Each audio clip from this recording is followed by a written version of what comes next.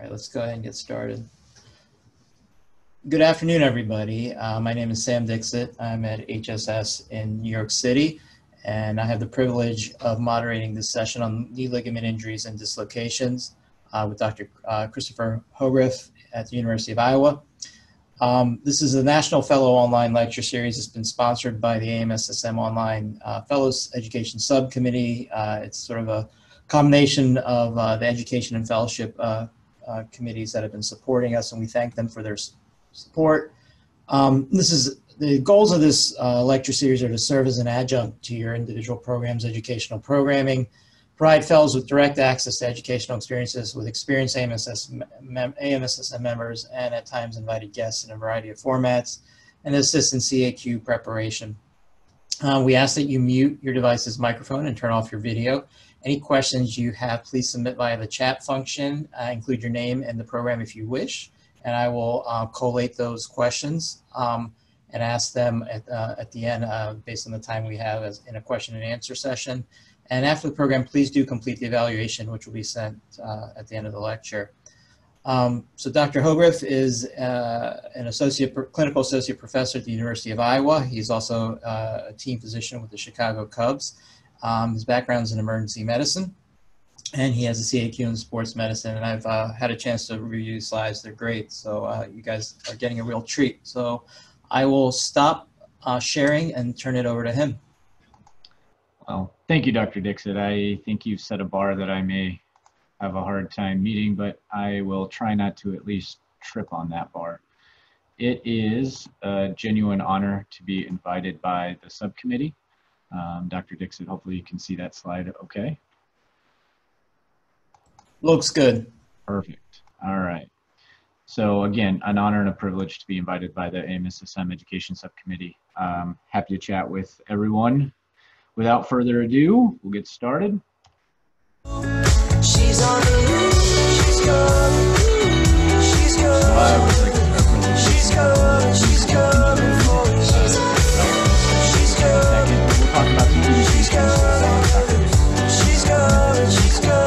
Ligament knee injuries and In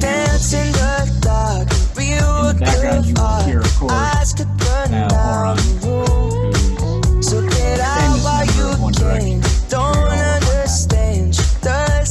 And the song, of course, is On the Loose, which is given uh, before we go any further, uh, I am compensated by the Chicago Cubs for my work with them, but as it pertains to this presentation, I have no financial disclosures or conflicts interest. A couple of objectives just to go over briefly. Uh, we're going to talk about the epidemiology of all three conditions, ligamentous injuries, patellar dislocations, and knee dislocations. I think it's important to highlight some of the risk factors associated with those injuries.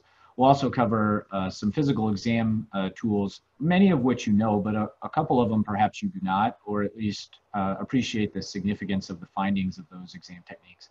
We will review some imaging things. We're not going to delve into the nuances of MRIs um, and their role in managing these conditions, but there are some plain film considerations that I think warrant a bit of discussion. We will talk about the treatment nuances for these injuries and the disposition for the patients. And hopefully throughout the course of the next uh, 50 plus minutes or so, you will be entertained on some level. Every time I give a presentation, I like to include what I call edutainment. At bare minimum, breaks up the monotony of having to hear me drone on and on about uh, academic matters. So we'll break that up a little bit with uh, some knee buckling uh, edutainment. Anytime I can poke fun at the White Sox, I try to do so. All right, we'll play a little game, interactive, play home. We'll play name, math, passing. Start with a devastating name. All right, I'll show a picture and. Famous running back from the University of Miami, Willis McGahee. And here's how he suffered his devastating knee injury and I believe it was the Fiesta Bowl. So probably doesn't take the completion of fellowship to realize that he had a problem. This is a more recent case. Give you a moment to ponder. this is McKenzie Milton from the University of Central Florida and just a couple of years ago. He's rolling out right on the boot and gets hit and it doesn't look so bad because there are people in the way, but notice the angle positioning of his right lower leg. Clearly not normal. Uh, you can generally tell by the reaction of the other players uh, how significant an injury is by how many of them recoil in the process.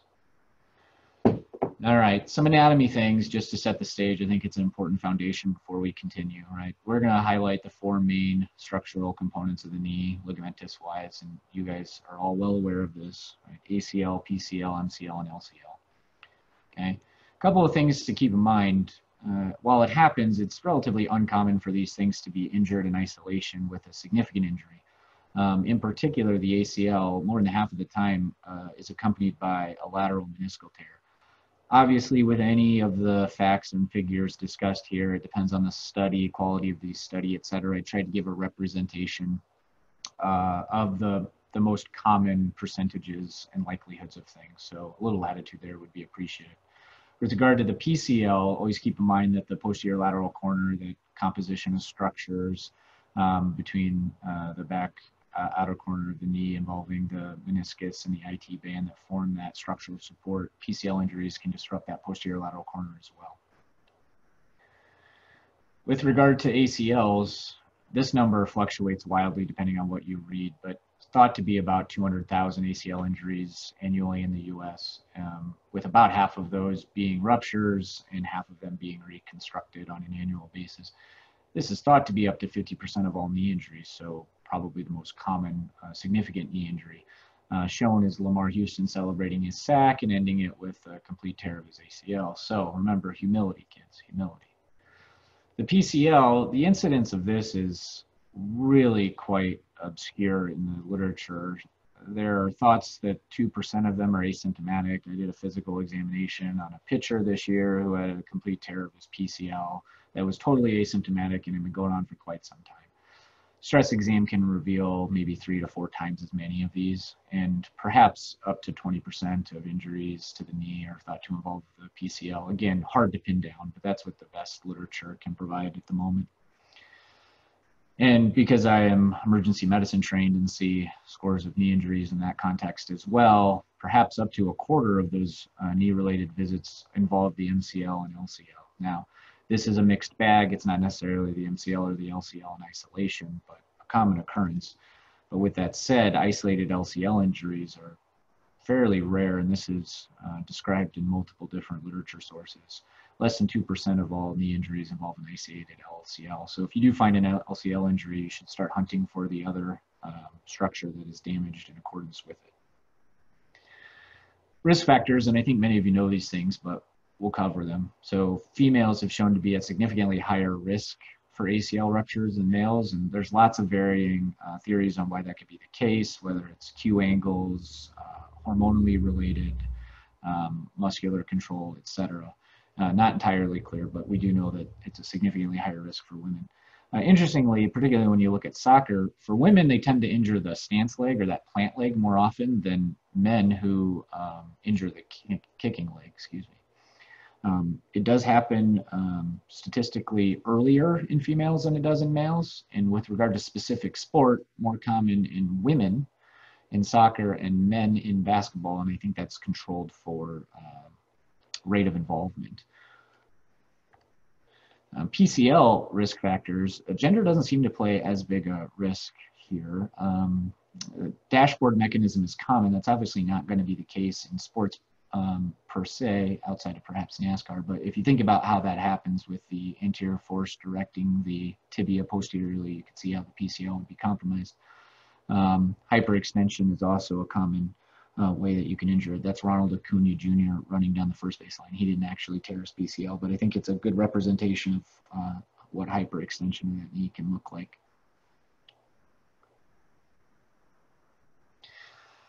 Our next famous athlete, this one's a little more obscure perhaps. However, it was a big deal. I believe it occurred on Monday Night Football, if I remember correctly. And this is Napoleon McCallum. So he's running into the line against the 49ers, and I believe it's Ken Norton Jr. wraps him up here uh, and rolls him over with his foot underneath him, and you can tell that the knee doesn't bend that. All right, on to the physical exam. Anytime you can put jazzercise in a presentation, I think you're well on your way. Let's review some of the pertinent physical exam maneuvers for evaluating the ligamentous structures of the knee. And I think everybody uh, has heard of the anterior drawer, right? It, again, sensitivity and specificity vary, but a fair representation is 55% sensitive and 92% specific a lot of the time, any of these knees uh, maneuvers are studied. It's done under anesthesia, so you lose some of the confounding factors, which means the pure test is um, studied under those contexts. But in the practical world, when we're evaluating these athletes on the court, on the sideline, or in the clinic or emergency department, it may not hold quite the same. So take it with a grain of salt, please. Um, with regard to the anterior drawer sign, be very um, aware of the posterior sag. So if they have uh, translation of the tibia posteriorly at baseline, um, that tibia will translate forward a fair amount and give you the feeling that it's um, lax when all actuality you're pulling it back to neutral first and there may not be any anterior translation further. So consider that when you're doing this maneuver. Um, the other thing to keep in mind, and part of the reason why this is, can be limited, particularly in the acute injury, right? If if you're assessing an offensive lineman, it can be hard to get the knee in that position or simply move it just given the general size. And also, like anything in fluid, if there's an effusion present, things will slide a little bit, and it can be hard to determine if there's a firm endpoint. So keep all those things in mind, along with the caveat that sometimes patients won't be able to or won't um, flex their knee to allow for this positioning, and it may limit this test. And if that's the case, then you have to look elsewhere to try to identify an ACL injury. I was once told in fellowship that the most accurate knee assessment is the first one. So you want to make sure that when you perform these tests, you're calm, cool, collected, and you perform all the ones you need to because moving down the road, whether pain sets in, further effusion, guarding, etc., may be more difficult to get an accurate exam. Moving on to Lachman's test, another one you are all probably quite familiar with, right? Higher sensitivity and, and roughly the same specificity. Uh, video showing there. Notice that I like to uh, slightly externally rotate the leg um, prior to doing so. Um, and oftentimes, if you want to add a little bit of kind of bounce to the leg, um, just a light bounce, that'll kind of trick the patient. They won't know when you're going to start to translate the tibia against the femur, and it may allow them to relax more uh, helpful trick along the way. What you're feeling for is an abrupt halt versus that kind of soft elastic feeling. And you've probably done many of these, and that abrupt halt, uh, patients will even feel that. And, and, when you don't feel that, that's um, a striking difference, particularly the first time you note it.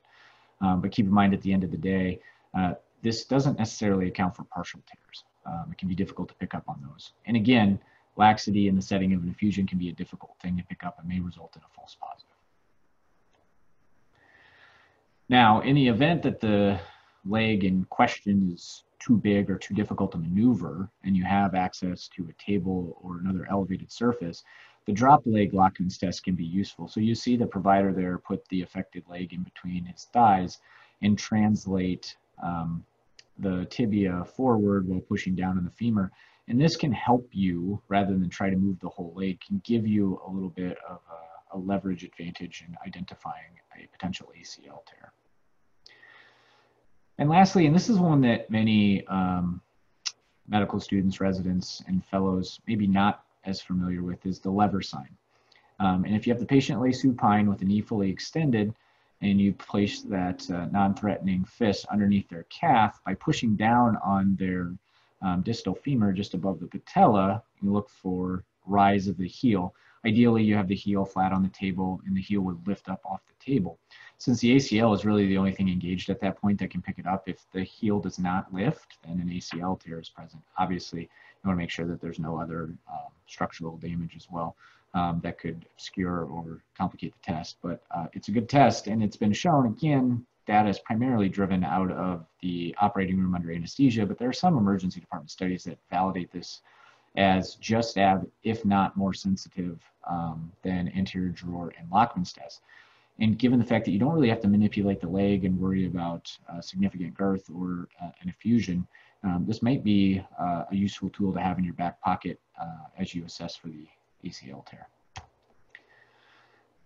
Now, I think I went through all of fellowship um, and subsequently uh, without performing the pivot shift test. I know it's well described. I know lots of people like it. And in my case, I skip it. It's really hard to get the patient to relax. What you're essentially trying to do is recreate the mechanism that caused the injury. And patients are acutely aware of how they got injured in most cases and know what that feels like and don't care to go through it again. Um, and quite frankly, if it's positive, it hurts like the Dickens. Uh, and so I actually steer clear of this one. And that's the reason why I included a video of it being done in the operating room because the patient's under anesthesia or has a block and can't feel it. So it does have sensitivity and specificity that makes it useful. I just find it painful and uh, would argue that there are other ways to make the diagnosis without this test. As for the PCL, the posterior drawer is a great test sensitivity and specificity are very high across numerous different literature sources, and it's really the same as the anterior drawer, just in the reverse direction. So posterior translation of the leg, and look for sag or translation. Speaking of sag, you want to make sure that you take a peek before you do the exam because if the tibia is already sitting posteriorly, more than 10 millimeters in most cases, you know, pretty good indication that the PCL is not doing its job or is insufficient at that point while you're doing it, and in another way to assess the uh, PCL is you should consider the dial test. Now, this will give you good information um, on the PCL as well as the posterior lateral corner. You want to do this both at 30 degrees and 90 degrees of flexion at the knee with the patient supine. And you're looking for more than 10 degrees of rotation uh, of the injured leg versus the non-injured leg. If you only see this at 30 degrees, the PCL is injured. If they have it at both 30 and 90 degrees, you should have higher concern for a posterior lateral corner injury. Now, the PCL can be involved in that as well, and often that is the case. Um, but you want to give consideration to that posterior lateral corner as well. Um, makes that injury a little more significant. In terms of the medial and lateral collateral ligaments, the varus and valgus stress tests are um, plenty helpful in this regard, right? From a varus stress test perspective, uh, the patient lays supine and you push uh, on the medial side of the leg and direct that force laterally to try to get the lateral or outside portion of the knee to open up, right? And then the converse is the case. As shown in the video, this is a valgus stress test, right? Patient supine. You're pushing medially with your hand on the outside. Uh, try to get that to open up or cause pain, uh, either one or both. Okay. Um, I like to do this at both 30 and 90 degrees. You can see that in the video. And the reason for that is at 90 degrees, patient can lock their quad and try to stabilize their knee that way. If you get laxity at that point in time, it's generally a more significant injury. At 30 degrees, you're kind of taking that out of play, and you may pick up more laxity than you would at 90 degrees for the reasons cited. Okay. Now, you can read everything under the sun about this, and there are studies that say that the varus and valgus stress tests are 25% sensitive. Some have cited up to 86% sensitive. I don't know what the real number is, and I don't think that you can take it as gospel. Uh, it's clearly not a perfect test, and there are some factors that play into its variability, but it is a good test that should be performed when there's concern for medial lateral collateral ligament injury. Specificity, I can't find that anywhere. I never have been able to in preparation for this presentation. I went back and looked at it again. No one really reports on specificity. Uh, so you have to take that with a grain of salt. And even if it was found in an obscure reference that I missed, uh, I apologize, but I don't know that I would take that as gospel either. Next up in the Name That Athlete game, all right, recently retired, if I recall correctly. The Golden State Warrior in question is Shaun Livingston, right? So Shaun Livingston was playing for the Clips, makes the steal, heads down the lane, is up for the layup, and lands awkwardly at best as he comes down on his left lower extremity. I apologize for the graininess of the videos. In some instances, it's the best quality I could find, um, but he suffered a complete dislocation of his knee as well. All right, so now we've covered the physical exam. Let's touch on a couple of plain film findings. Um, I didn't think it was particularly high yield for this setting to go over the nuances of MRI findings in the context of uh, ligamentous injuries of the knee. They're often overread by radiologists looked at in consultation with our orthopedic surgery colleagues. But oftentimes we're left to interpret the plain films of the knee uh, alone or before somebody else overreads them and make clinical decisions that way. So I think that um, lends credence to, to the objectives today. So I'm gonna show you a picture of a plain film of a knee and you let me know what's abnormal. Right? In this context, it's lateral views of the knee. Okay. And you look carefully, you see a whole bunch of fluid, particularly in the superior patellar uh, space. And there's a large joint effusion there, right? Pathognomonic for an ACL tear or other ligamentous injury? No, but should give you suspicion that something else is going on there, particularly in the setting of an acute injury. Okay, so that's what you're looking for in terms of a joint effusion. Now, this one's more subtle, okay? So if you look carefully, um, part of the reason I like to go over this is because we often um, look at x-rays of the knees and look for obvious fractures um, and don't see them and move right along. However, there are subtle important things that we should be aware of that guide our management decision-making process moving forward. In this case, the subtle finding is right there. You can see a cortical disruption of the tibial spine and there's an avulsion injury there.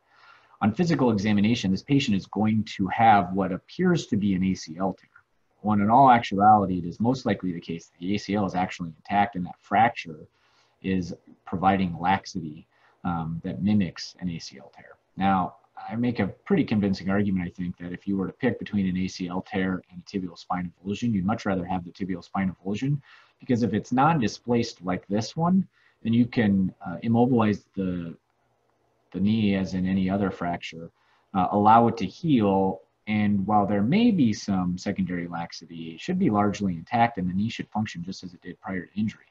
This is more common in adolescents, um, but it does happen in adults. I've seen many adults uh, who have had this injury. So um, if it's displaced, they can obviously uh, surgically correct that with a screw, but um, it will give the impression of an ACL tear, but slightly different. Classic board fodder here right? You get the plain films and you spot that abnormality along the lateral aspect of the tibial plateau, and that is called a Segond fracture. And more than 90% of the time, uh, this is pathognomonic for an ACL tear, okay? Now, there are other structures that can be injured with this uh, particular finding as well. Give you a moment to consider what those might be. And if you think about what runs through that area, Okay, now if you look at the fracture fragment carefully, it misses the joint space, so the lateral meniscus is not likely to be involved. It's always possible, but it's not likely to be involved given where this particular fragment is. You have to worry about LCL and or IT band injuries as well. They're passing through and or attaching right at that area, so make sure you assess for those as well. And in this case, right, so there is a thing called a reverse Segond fracture as well, far less common, but described in the literature. You can get a fracture of the medial aspect of the tibial plateau by the same rotational mechanism, which again is highly suggestive of an ACL injury. And we jump from a reverse Segond fracture to something that looks like it could be, but if you study the medial and lateral tibial plateaus carefully along the lateral side, you'll note that the plateau and proximal tibia look to be intact, but you do see a cortical disruption there, and that appears to be coming from the fibular head. When you see that kind of avulsion injury from the fibular head, that's called an arcuate fracture, and that arcuate fracture is also highly associated with an ACL tear, right? So subtle, and not something that'll always jump out and grab you. Um, and when you see it, you might think, oh, that's an isolated fibular head fracture. But you need to pay particularly close attention to the ACL to make sure it's intact. You're staring at those lateral views of the knee after an acute injury, you may notice this subtle little divot in the distal femur. So that deep lateral sulcus sign. And that's usually an impaction and also, again, associated with ACL pathology. It's not pathognomonic, but you need to have high suspicion for that if you see this subtle finding on lateral films of the knee. And we'll move along. These are a couple of plain films of the knee that I'll be honest, I don't always consider getting, but having re-reviewed the literature, I think they're worth considering, right? So if you look carefully, the image on the left looks like it lines up appropriately, but when you compare it to the unaffected side, the, the one uh, circled shows a bit of translation posteriorly. What's happening here is those arrows are noting posterior force applied to the proximal tibia, and these are called lateral stress views. And when you see that translation, which is different from one side compared to the other, should be highly concerned for a PCL injury as well. There are several sources that cite this as uh, a very reliable way to uh, diagnose PCL injury as if the posterior drawer test wasn't sensitive or specific enough. But if there's any doubt, this can be a helpful tool in confirming the diagnosis.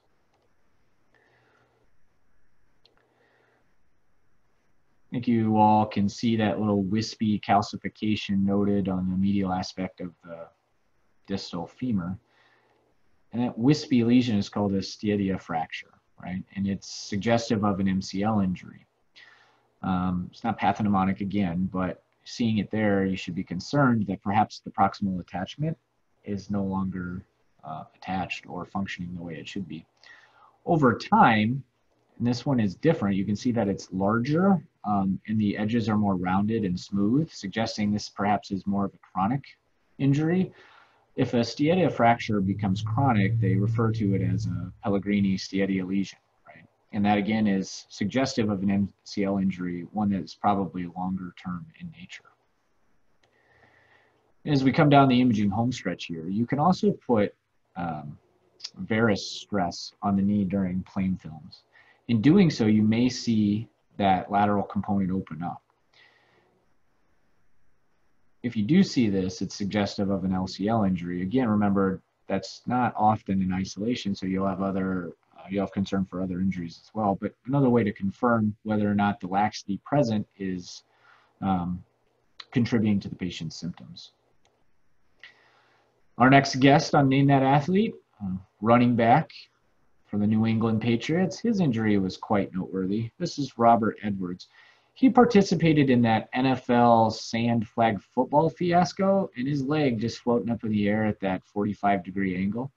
Uh, you might imagine this was the only year, uh, to my knowledge, that they conducted this event, uh, as Mr. Edwards suffered a knee dislocation um, and never successfully returned to his previous level of participation in the NFL.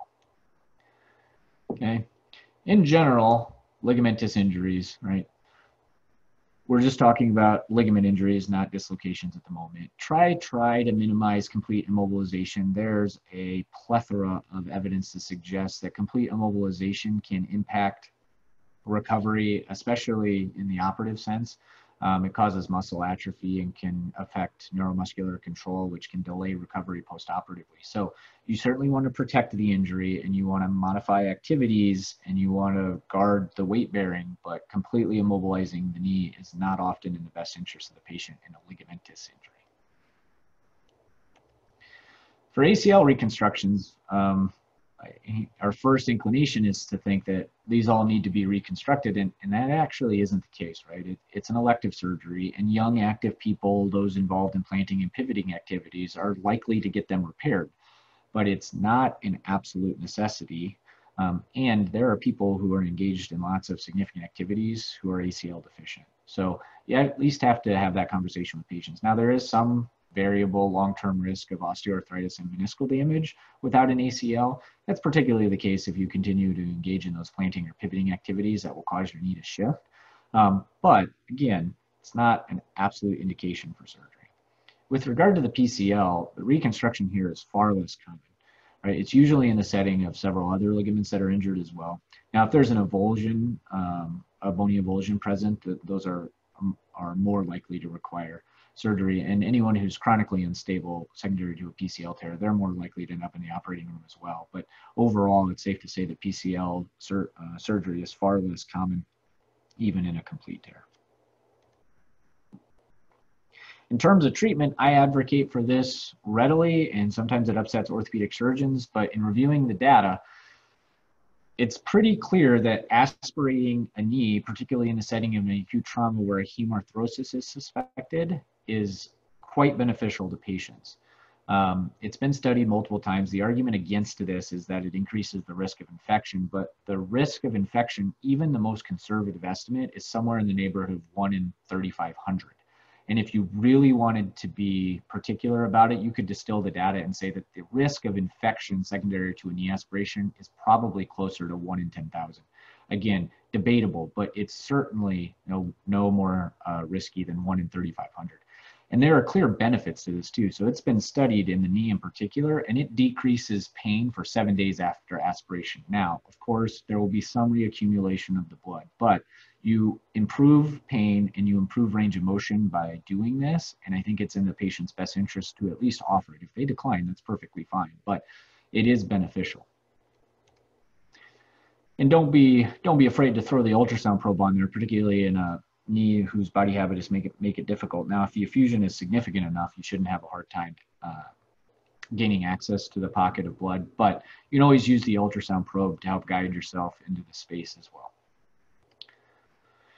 I advocate for the superior lateral approach. Cadaver studies have verified that this is the most accurate approach. 90% of the time you'll end up in the, in the intra-articular joint space in the knee, according to cadaver studies. The rest of the access point, whether it's um, medial or lateral anteriorly, um, somewhere in the 60s to 70% accuracy rate. So if you can do it, try to aim superior lateral. Uh, a couple more management thoughts from MCL perspective. Um, surgery is not um, always needed either, right? Multiple ligaments, an avulsion fracture, or if the MCL is entrapped.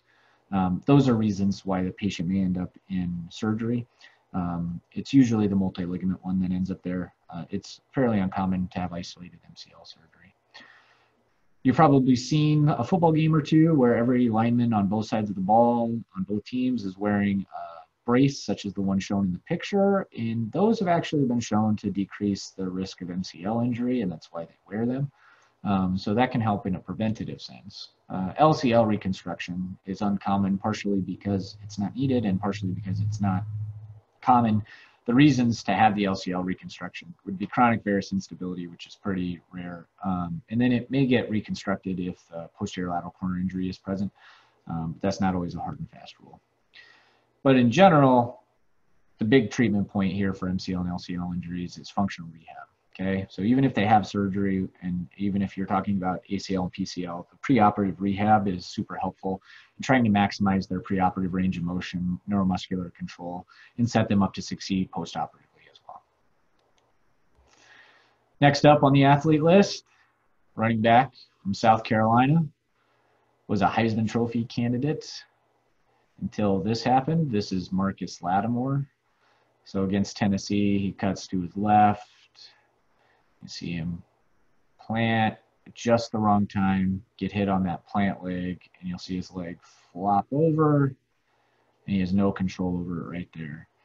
Uh, unfortunately for Mr. Lattimore, while he was drafted by the 49ers, he was never actually able to make it onto the field as a member of the 49ers. In terms of coming back from these injuries, right, ACL construction is highly, or reconstruction return is highly debatable right? Previously, I thought that it would take over nine months, but now it's functionally based, which seems to make sense. Um, you have to be able to do numerous things in the physical therapy gym. These are things like sub, single and double leg hopping and jumping activities. Obviously, you have to be able to cut and plant without pain at full speed before somebody will let you back onto a football field or a basketball court. Um, classically, the thought is 12 months before full return to activity. That's variable per athlete. We've seen Adrian Peterson come back in what seemed like a matter of days.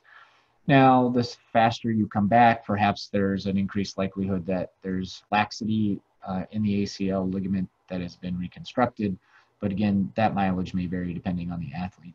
You do need to consider psychological factors. So, um, one of the biggest things, particularly in football, is taking that first hit after you've been injured in this manner. And so addressing those concerns and making sure the athlete is completely comfortable um, before sending them back out into activity is critical because it could only, it could potentially set them up for uh, a different injury or re-injury. Okay. In terms of PCL, again, remember, not often surgically repaired or reconstructed. So for grade one and two PCL injuries, uh, rehabilitation with a typical two to four week return. Again, mileage may vary terms of three, um, there's relative immobilization here, trying to get it to scar in and gain back the stability. And the rehab component of this will focus primarily on quad strengthening. With regard to the collateral ligaments, right, MCL timeline is based on degree. So we won't belabor the degrees too much, but I do think they're worth mentioning, right? So if they have if the athlete has pain with no significant laxity, you can expect a return in one to two. But if they have pain with laxity, although you do note an endpoint, you can look at two to four weeks. It's probably a little closer to the four week mark, but two to four weeks is what's often cited in the literature. And if they don't have an endpoint, uh, four to eight weeks um, is common. And again, that doesn't necessitate a surgery per se, um, but does have to scar back in and allow for the medial stability of the knee. In terms of the LCL, again, there's not a robust amount of literature that discusses this, but the most commonly reported return uh, time frame is somewhere in the neighborhood of six to eight weeks. There are sources, including some from the USA ski team, that say that some patients take up to three months and may have stiffness uh, with these injuries for up to six months. Um, I think that's variable, obviously, um, but a general guideline to consider both as you're managing your teams, but also as uh, you counsel patients in the clinic and the training. But as has been mentioned a couple of times before, as soon as you are able, start physical therapy. It's going to set them up to succeed in the long run. It may decrease the time that they are required to miss um, as they progress. And I need to emphasize this one more time. Proceed with caution with complete immobilization. All right. It may be needed for a period of time. Say there's a complete uh, PCL tear, for instance. Um, but just providing stability while allowing for range of motion of the knee, if you protect their weight bearing status, is usually sufficient, and complete immobilization can cause atrophy. I have lost track of the number of patients I've seen in um, consultation from the emergency department who were correctly diagnosed with uh, an MCL injury, for instance, and partially perhaps because of the limited types of splints and braces that are available in an emergency department. But I've seen patients who have been sent to me in a knee immobilizer because of an MCL injury, and by the time they see me, say three weeks later, for whatever reason, their MCL has scarred in, stabilized, and it's no longer causing pain or laxity but their lack of utilization of the quad in particular has caused atrophy and they don't have any neuromuscular control or as much neuromuscular control of the knee as they need. And that by itself requires physical therapy. So uh, use caution when putting what is affectionately known as the hot dog bun in some emergency departments on the knee. Next up, tennis star. All right. This is Bethanie Mattek-Sands. So during Wimbledon, she went down, and they don't zoom in, but she's clearly in a ton of pain. And you can look carefully, she's holding her patellas a bit laterally.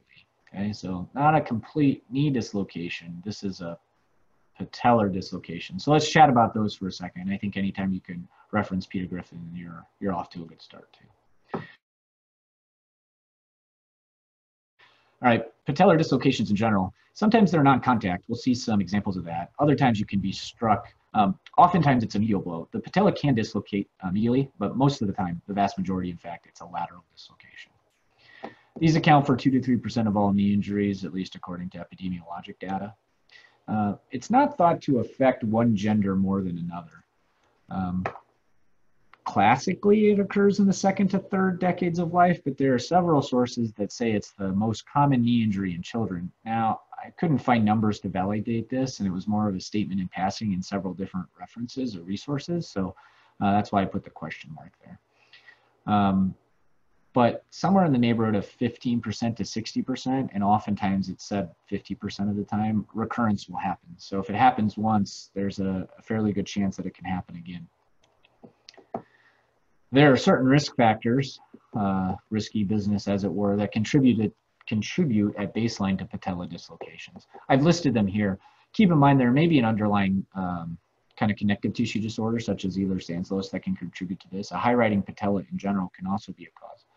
If the patellar groove or notch is flattened, uh, otherwise known as trochlear dysplasia, you can pre be predisposed to a dislocation of the patella. Um, having dysplastic musculature, so uh, an insufficient vastus medialis, or overactivity of the vastus lateralis, for instance, can contribute to uh, patella dislocations as well. So you may only be able to pick this up in hindsight, but if you're doing pre-participation physical examinations or, or evaluating patients who are saying they have anterior knee pain, you may look at these things and consider their risk of patellar dislocation. On the note of patellar dislocation, famous NBA player, played alongside Kobe, straight from high school. This is Andrew Bynum.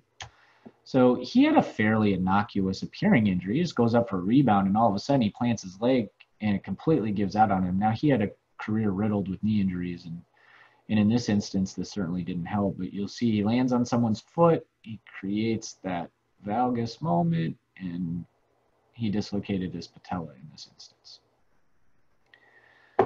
The exam's pretty straightforward for patella dislocation, right? If the patella is out of place, probably dislocated, most often laterally, as we discussed earlier.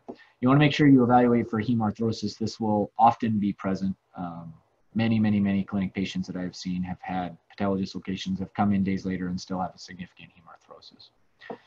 Look for tenderness along that medial patellofemoral femoral ligament, excuse me, which is helping to hold the patella in place along with a couple other quadriceps muscular uh, components. Okay.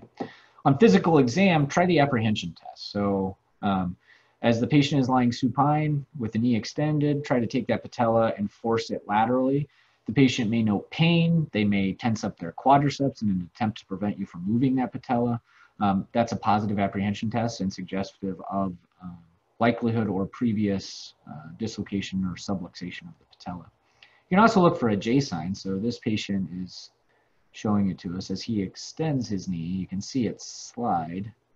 It's being held into place, so it's subluxing at this point and trying to dislocate with enough force, and it may not require much, that patella can slide right out of place. The other thing you want to make sure is in the setting of a patella dislocation, make sure that the neurovascular structures are intact. Far less likely to injure those structures than with a true knee dislocation, but you want to make sure that you have evaluated those and documented them accordingly. I don't know that too many folks out there in AMSSM land or YouTube world are going to know this one. It's a little tricky, but this is Ryder Jones. So Ryder Jones just taking a swing. Watch his face. Hello. Yeah, uh, he just completely buckles and no one really knows why. And in this case, it was because his patella dislocated. And that's what gave out. no significant history of this happening repeatedly in the past. In terms of imaging, couple of pearls for patella dislocation imaging, okay? Should you image the patella before you reduce it, after you reduce it, or both? For the most part, barring a significant trauma. So um, you can get post-reduction films. I think it's safe to put the patella back into place and then look for your fracture otherwise. If there's a significant mechanism of injury, so struck at a high rate of speed, uh, for for me at times in the emergency department if it was a motor vehicle incident those types of things then i might get imaging beforehand um, but typically post reduction is sufficient give you one caveat to this though particularly post reduction if you look carefully at these films which are from an athlete that i took care of you look carefully and these films are unremarkable but if you get the sunrise or merchant view skyline view right, you can see that the patient clearly has a patella fracture. It was not seen on the AP or lateral views. Take home point here, make sure you get though that additional third view. I always like to tell the residents and fellows, the knee has three compartments, medial, lateral, and anterior. You should get three views of the knee at least, AP, lateral, and merchant or skyline. Another thing you might see on plain films, particularly the merchant view or skyline view or sunrise view that I just mentioned, right? You may see this trochlear dysplasia. There's not really much of a notch there, and it's flattening out the undersurface of the patella as well, but that's clearly going to predispose someone to a patellar subluxation. Next up on our hit list, that's Baron Davis. So you'll see Baron Davis bearing down on the rim here. He's headed right for a bucket, and all of a sudden, his knee just collapses on him when he plants, and you can see a big divot there. His knee went laterally. He put his hand right in the divot. So again, non-contact patellar dislocation. LeBron, not impressed. All right, so it's out. How do you relocate it? Well, that's pretty straightforward. Just do what this young gal did. You want to roll over and you want to hit it really hard multiple times, and it'll probably just go in closed fist, usually works best. All right, I'm kidding. I'm kidding. Don't do that. All right, do what Patrick Mahomes did last year when he dislocated his patella. So um, he heads up the middle for a QB sneak, and he just gets piled on. And he's clearly in pain. And it later came out that he had dislocated his patella. But you can see what happens here is they just straighten it out, and there's a clunk. All of a sudden, life is well, and he walks off the field. Okay, so really, patellar dislocations are that easy, right? So put pressure on the patella the, toward the midline. Most of the time, that's going to be a medially directed force. Straighten out the knee, and the vast majority of the time, voila, back into place. And then you can straighten it out and go from there. Sometimes, occasionally, the patient will need medications to make them more relaxed, etc. I think that's the exception rather than the rule. These usually go into place pretty pretty easily. Okay. As I said earlier, I think post-reduction plain films are a solid plan. Okay. At that point in time, barring any fracture, you want to protect the knee. Now, sometimes this requires a knee immobilizer um, to keep it in place, particularly if that's all that you have available to you. Uh, a Shields brace or a J brace, um, depending on where you're practicing, is useful as well. Now, that typically has a padded component uh, within the brace that goes laterally on the patella that helps to keep it shifting uh, out. Obviously, if it was a medial dislocation, you'll need to reverse the orientation of that brace, but works pretty well and is functional, unlike the knee immobilizer. Okay, uh, just like Patrick Mahomes walked off the field, you can let them weight bear as tolerated. You want to protect that, make sure they don't do anything that could cause uh, subsequent dislocation of the patella. Uh, NSAIDs for pain control is needed if necessary. Um, and then again, you may also want to consider, as was previously mentioned, aspirate the knee, particularly if it's tense. There can be a significant hemarthrosis associated with this, and drawing out the blood is not necessarily a bad thing. In fact, it can be quite helpful. I've taken more than 100 milliliters of blood out of patients' knees um, following such injuries. Can imagine how much tension and uh, that places on the knee and minimizes uh, range of motion. Also, keep in mind, studies have shown blood is generally toxic to cartilage, so letting it sit in there is probably not doing a ton of favors to the intraarticular surface of the knee. I like to bring things full circle. Remember, we mentioned our One Direction buddy, Niall Horan On the Loose. Well, I didn't just do that because he had the song On the Loose. He's actually suffered from patellar dislocations bilaterally. He uh, had surgery on one. I believe he had surgery on the other. I couldn't independently verify that, but he suffered from patellar uh, dislocations over the course of time. Uh, one surgery, I believe, was uh, um, on his left knee, and that was about 2014, give or take. So he's afflicted as well. Uh, overall outlook for the patellar dislocation patients, right? You can pretty much guarantee physical therapy is on the way, and they're going to work on strengthening the quad, hip, and core. Um, careful closed chain short arc exercises of the quad will generally be implemented um, and can help to really stabilize it and keep it in place. Okay.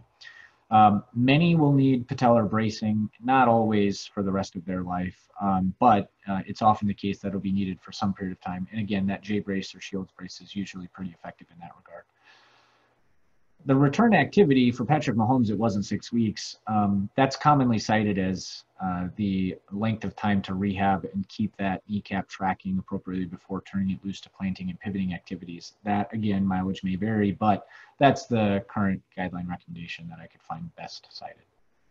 But keep in mind, 15 to 50% will dislocate again in two to five years.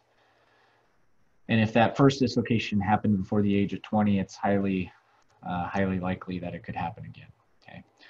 From a surgery perspective, if there's an associated loose body or a fracture, or this keeps happening repeatedly, then concern for reconstruction of the medial patellofemoral ligament, um, or different other surgeries that we won't get into uh, that improve alignment may need to be considered. And even our friend shown right here, who surprisingly my wife did not get. So this is McDonald's newest spokesperson, Travis Scott. And while at a concert recently, where he's doing his thing on stage, and knee just bumped. So apparently, he dislocated his on stage. It's not clear to me at what point in time his patella went back in place. But um, he did uh, dislocate his patella. He finished the concert uh, amazingly enough, so he's dedicated to um, but uh, been reported that he will surgery for that. It's not clear to me that he had surgery or will be having surgery, but that's just Coming down the home stretch here. This one's tough. All right. right, this is Dustin Keller. So Dustin Keller, when he was playing uh, briefly for the Dolphins, goes out in the flat for a pass here and gets obliterated at just the wrong time. So knee comes down, gets planted, and out goes his leg. So he completely dislocated his knee too. So we'll talk here about some, yeah, that's, that's suboptimal. Never spar with the uh, gym master. Uh, so we'll touch on knee dislocations here. All right, this is a true orthopedic emergency. All right, so I had always been taught that it was a disruption of three of the four uh, major knee ligaments. It turns out that you really actually, by definition, only have to have disruption of two of those four ligaments. Um, but you do have to have uh, disarticulation of the tibia uh, with the femur, right? The cruciate ligaments are typically affected, although there are some uh, reports that show the ACL and the PCL weren't involved and the knee still dislocated. Um, keep in mind that the posterior lateral corner can be involved as well. You've heard the phrase unhappy triad. I suspect it's board and test fodder. And this is classically the ACL, MCL, and a meniscal tear all in one happens with knee dislocations. There are reports that it happens more frequently with in lateral meniscus being involved than the medial meniscus, although there aren't great studies that validate it. Um, 60% of the time the knee dislocates, there's an associated fracture, so keep that in mind. And the real critical part of knee dislocations, the ligamentous injuries are, are terrible and can be catastrophic, but the neurovascular injuries uh, are even more so. So you need to have a, a low index of suspicion for those. Made it all this way in the presentation, 50 something minutes, and haven't given you a classification, um, but I'm gonna throw one at you a little bit because it describes the direction of the dislocation, which I think is helpful in, in understanding the risk for other injuries. So we'll stay classy here for a second. Up to 50% of the time, the tibia translates anteriorly, and that's usually a hyperextension injury, and it's more likely to injure the peroneal nerve. Second most common is the posterior dislocation, and that's that dashboard mechanism I mentioned way back when. This one is actually more likely to shear uh, or place traction on the popliteal artery and cause vascular injury. Uh, the rest of them are relatively uncommon. Um, both lateral and medial injuries require varus valgus stresses, um, respectively. When it's a lateral mechanism, usually the PCL and the ACL are injured as well. In the sense of a medial dislocation, it's more often that the PCL and the posterior lateral corner are injured. So when you see the tibia in a certain position, you should have some underlying idea of what else could potentially be injured. This last type, rotational, is important to keep in mind because if it's a rotational dislocation, those are usually irreducible uh, in a closed sense and will require a surgical intervention just to reduce the knee, let alone fix any of the other injuries. Okay. Overall, it's a rare event, right? And so that's probably why we all don't know more about it. It just doesn't happen that frequently, but when it does, it certainly gets everyone attention quickly. Studies vary. I found one study that looked at patients between 2010 and 2014. This was from the US and it looked at the National Trauma Data Bank. So that's probably about as good a number as we're going to come up with. The problem here is that it only reports dislocations that were diagnosed, and 50% of the time we miss them because the knee spontaneously, excuse me, reduces and we miss it. So again, your index of suspicion has to be uh, appropriately calibrated so that we don't miss these. Okay. Happens way more commonly in men than women, four to one ratio. Um, and, and don't get fooled by the mechanism, okay? Particularly in bigger people, whether that's um, truly obese people or big people with large muscle mass, right, who would technically meet criteria for obesity according to some metrics, right? That by itself is an independent risk factor for knee dislocations, even in low injury, right? So it doesn't have to be some spectacular hit. As you saw in many of the videos we played thus far, not all of those were, were huge hits. The scary part here is that with nerve uh, or vascular involvement, amputation can result. The best study, I think, cites it, at least the National Trauma Data Bank study cited it at 3.8%. There are some studies that say the risk of amputation is up to 10%, um, and it can even cause death um, 2.8% of the time. So you keep that in mind. These are serious things, and as previously mentioned, a true emergency. Uh, this one is a little bit much, so I'll uh, admit that in advance. So if you're a bit squeamish, I'd be very careful about watching uh, Samantha Cerio from Auburn as she uh, gives us our next example.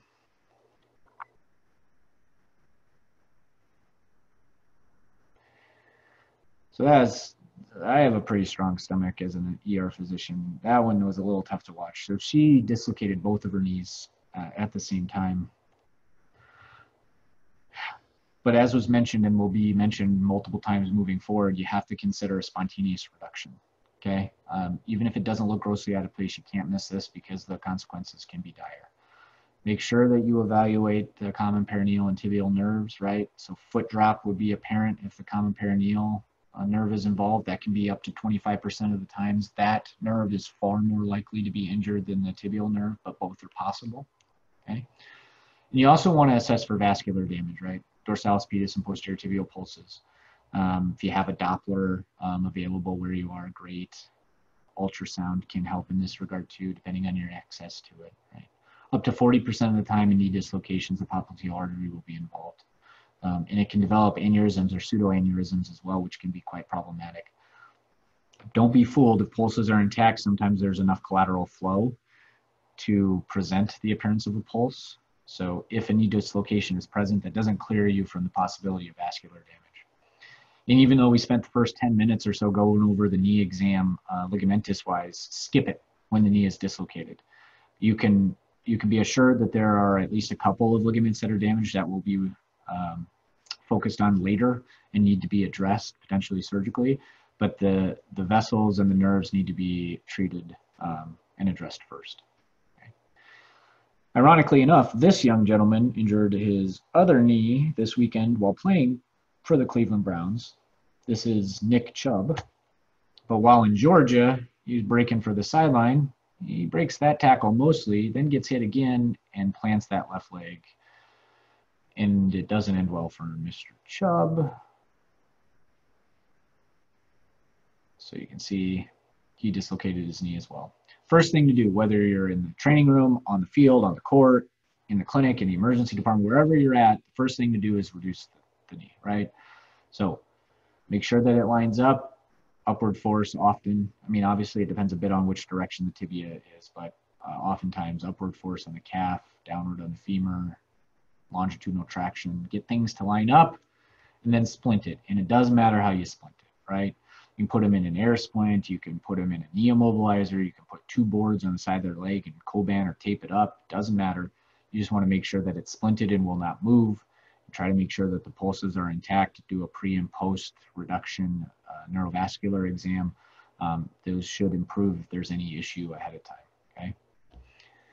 But the one thing you want to keep in mind is this dimple sign. So some people call it a pucker sign, but if you see this on physical examination, do not try to reduce the knee. So it's, it actually is a contraindication to reducing the knee um, because these types of posterior lateral dislocations, which are admittedly rare, but if seen, um, trying to reduce them can cause skin necrosis and worsen the outcome significantly. So this is the one caveat.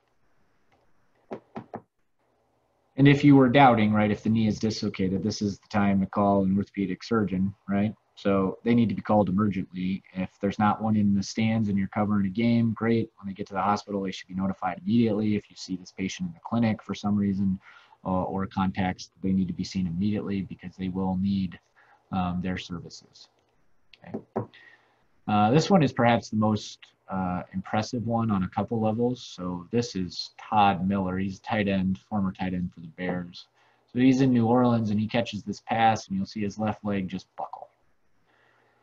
Now, a couple things to note. Kudos to him. He caught the ball and held on to it and the defender's arm was literally in between his arm and the ball he still pulls it in and you can see his left leg just completely buckle. So he suffered a knee dislocation, was taken emergently to the local hospital and had vascular injury, almost lost his leg. To hear him tell the story, he almost lost his leg, which is probably entirely true.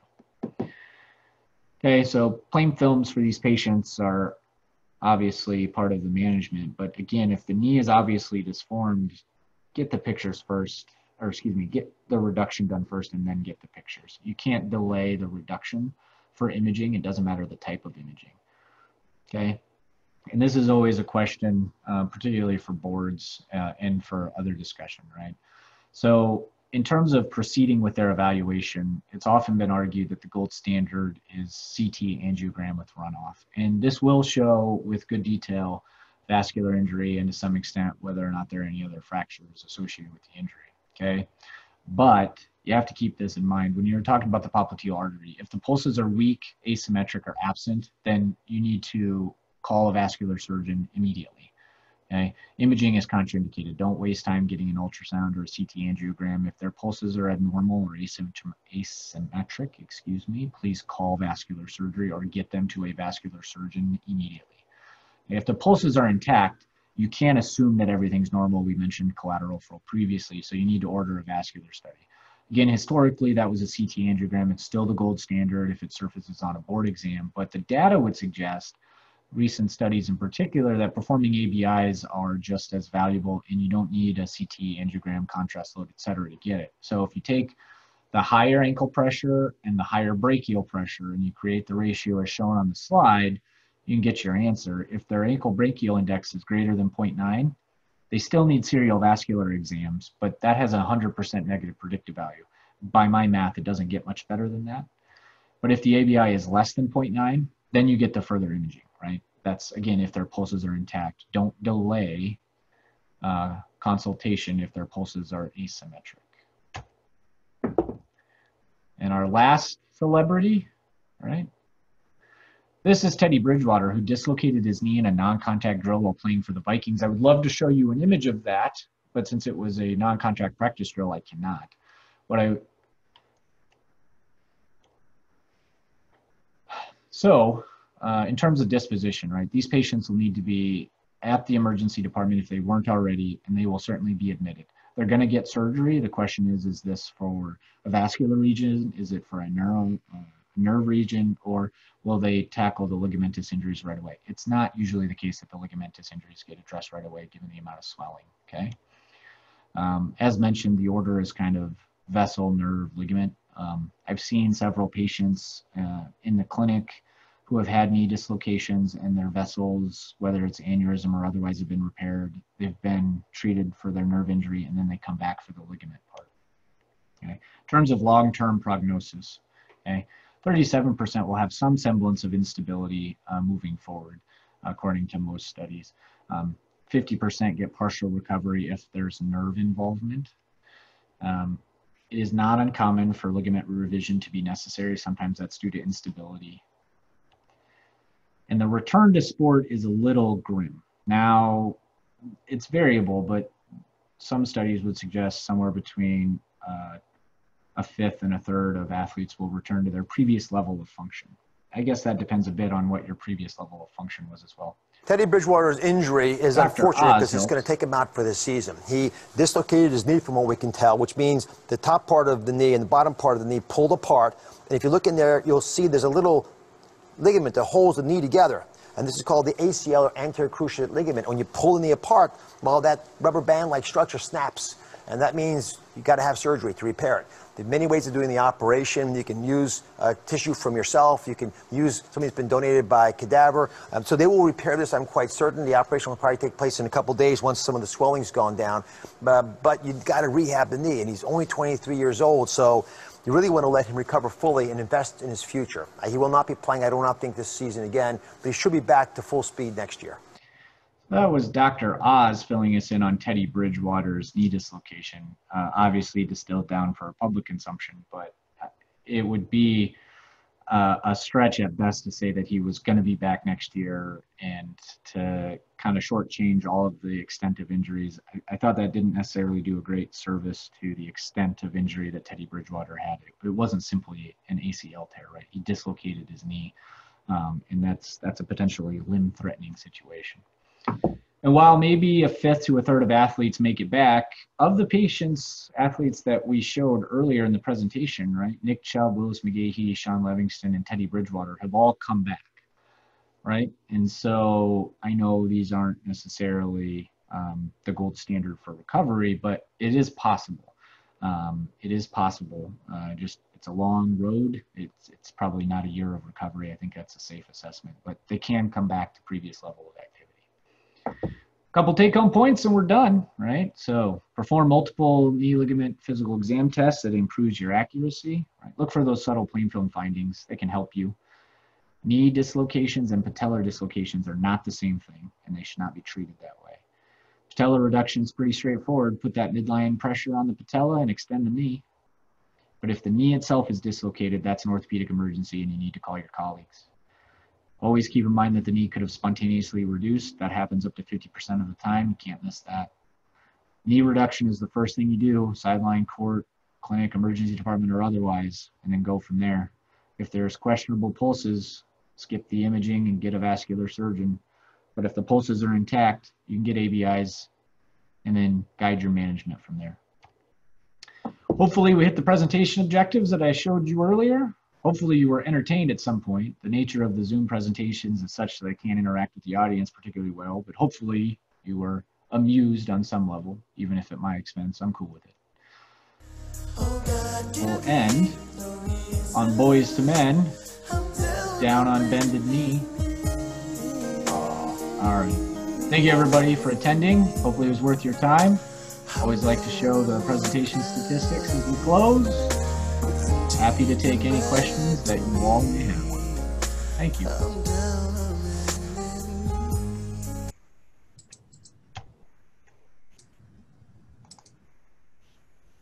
Thank you, Chris. That was an excellent job and very thorough. I'm, I'm looking at the chat uh, function and um, you, I think you uh, answered every question people had. There are no questions. Um, I think that was an excellent talk. I have a quick question for you about um, draining the hemarthrosis. What is your experience downstream with that? I think your rationale for that is very reasonable, um, but sort of the old classic teaching was that they reaccumulate. What is your experience with that? Uh, that's great point. So in the setting of a knee dislocation, you'll notice that I didn't highlight that component of the management, and that's because oftentimes, you know, 40% or more of of the time there will be a vascular injury and those are obviously going to reaccumulate at a much faster rate and plus those patients are headed to the operating room anyway in terms of reaccumulation um, it's anecdotal and i can't comment on it in terms of any hard fast scientific data but in visiting with my orthopedic colleagues um, they have not had any issue with it and have found that the range of motion for the patients has been improved. Pain is variable and it's such a subjective thing anyway. It's difficult to know for sure what it's doing there. But in terms of range of motion, particularly in that acute ACL injury, it's really helped them to bear weight and keep that range of motion, um, which seems to please the surgeons anecdotally. Whether or not that is hard data that manuf- manufactures itself in an improved or expedited return postoperatively, I don't know. But I will say that the, my colleagues who are on the back end of fixing that um, have never complained and have actually um, been quite pleased with it when I have elected to do it. Great. Yeah, I think, and and you know, I think there's a short-term benefit, but you may be years down the road saving them some chondrotoxicity that we never really think about. So that, yep. that's excellent.